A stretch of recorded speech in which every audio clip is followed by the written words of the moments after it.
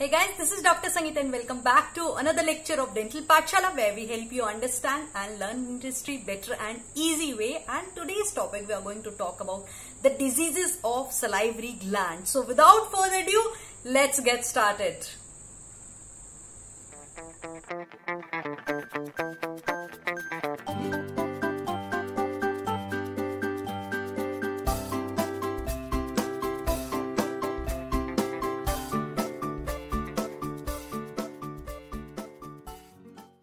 And welcome back to another 10 in 10 series where we cover each topic under 10 headings in 10 minutes. And today's topic is adenoid cystic carcinoma.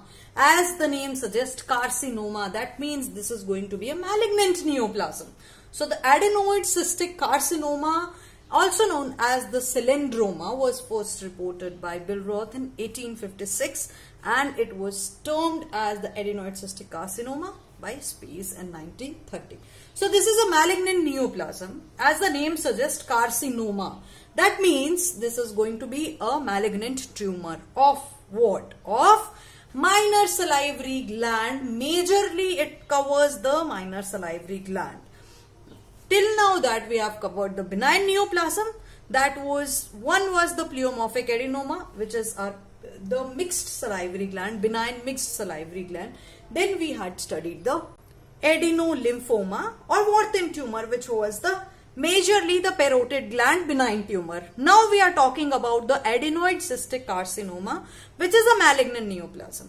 Now what is the tendency of this particular tumor? What is the specific feature is that it has got a tendency to invade into the perineural lymphatic space.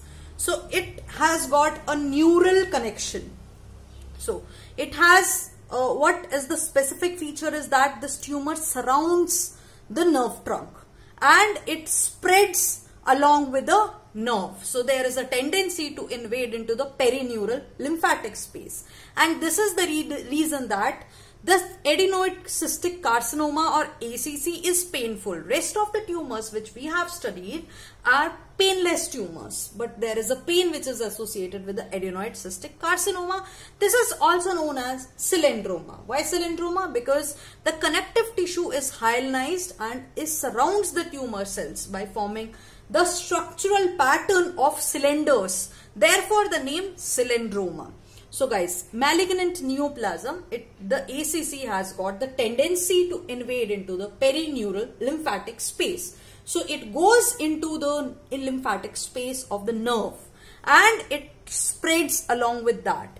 Now, how the, which, which gland it involves? It involves all the glands, majorly the minor salivary gland it involves and also the parotid gland which is only 6% occurrence fifth, sixth and seventh decade of life and females are most commonly affected. So it involves both the glands, minor as well as the major salivary gland. If we look at the common site for minor salivary gland is the palate and the tongue. For major salivary gland, it is not parotid gland majorly. Major uh, common site for major salivary gland is the submandibular salivary gland. So there is going to be a slow enlarging ulcerated nodular growth. So see the specification of this carcinoma is actually different than the other carcinoma. The difference is that first of all it is ulcerated. Previously we have studied that the non-ulcerated smooth surfaces right. Also previously we have studied that all the ulcer all the neoplasm were painless. ACC is a painful. All the neoplasm we have studied that they are movable. They are not fixed to the underlying structures. But ACC on the other hand it is painful. Now the pain is the most common complaint of the patient and we also see the fixation and the induration of the underlying structures. Now when it is uh, the lesions can sometime invade into the uh, when lesion is towards the parotid gland then the, it can invade into the facial nerve sheath and also ACC frequently invades the lingual as well as the hypoglossal nerve and if the, there is palatal paresthesia then we can see the involvement of the greater palatine nerve. So we can see there is a association of the nerve. So tumor surrounds the nerve trunk. This is the main feature of adenoid cystic carcinoma or cylindroma. We can say that it invades into the perineural lymphatic space. There is the tumor surrounds the nerve trunk. So what happens? The growth, the nodular growth, it resembles the eccentric node. But on the surface, we can see that there is ulcerations which are present. Now see previously we have studied that other surface of the other carcinomas were smooth. Also we have previously studied that the ulcers that the uh, tumors were painless. But on the other hand if we look at ACC while we look at the ACC we will see that the growth is nodular as well as ulcerated and patient often complains of pain in case of adenoid cystic carcinoma. If we see the histological cross section, then the, the histopathological section, the epithelium resembles the basal cell of the oral epithelium and it has the hyperchromatic nuclei. We see that there is a double layer of the tumor cells which is arranged in a duct-like or a cylinder-like pattern which contains the eosinophilic coagulum at the center and it gives rise to appearance similar to the Swiss cheese. That is why the appearance histopathologically we say that this is a Swiss cheese appearance. How the Swiss cheese? See, imagine there are double layers of the tumor cells and there is a duct or cylinder like pattern which contains the eosinophilic coagulum at the center. So it is like both the cells, the double layer of cells have got a center, a cylinder which is in between the center of these, these tumor cells. So that is the, uh, see, suppose on all the epithelium like there is going to be holes. There are going to be cylinders. If we look at, so it will look like the Swiss cheese appearance. The Swiss cheese which we have seen in the Tom and Jerry, uh, Tom and Jerry uh, cartoon serials, right?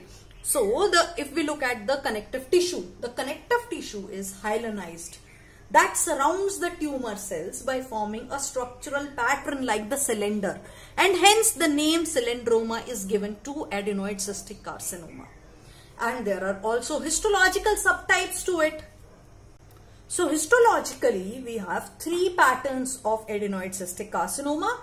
These are the cribriform pattern, the solid pattern and the tubular pattern, right?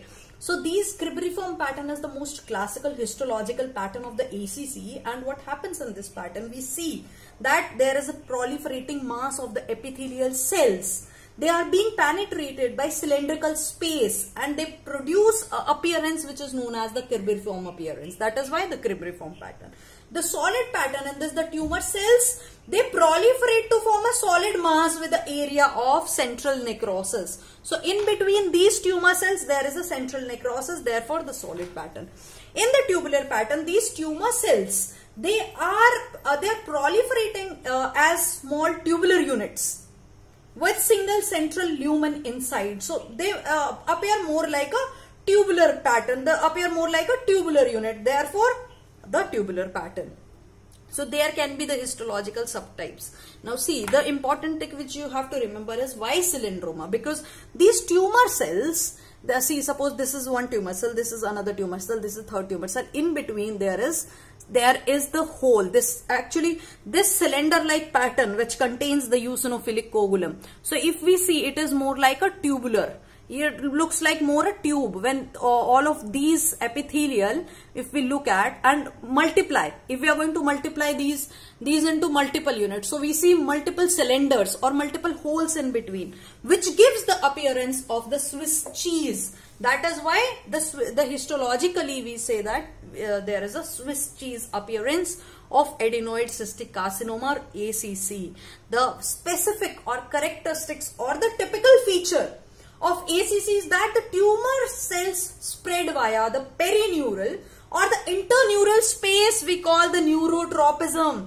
So there is a neurotropism which occurs in 80% of the cases of ACC adenoid cystic carcinoma we see. So this is the important feature of ACC is that see the other name is cylindroma because of the histological view.